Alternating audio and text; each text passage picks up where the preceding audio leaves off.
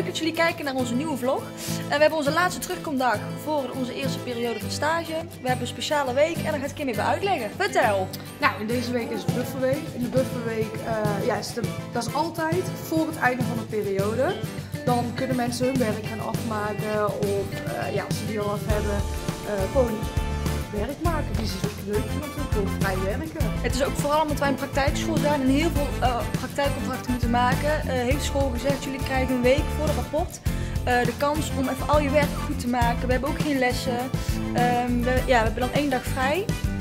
Die week is voor de rapportbespreking. Um, en we hebben ook onze uh, verslag ingeleverd en we moeten maandag weer beginnen met onze nieuwe stage. Ja, we gaan nu uh, beelden laten zien van de gezellige sfeer die er nu is. Ja, komt goed.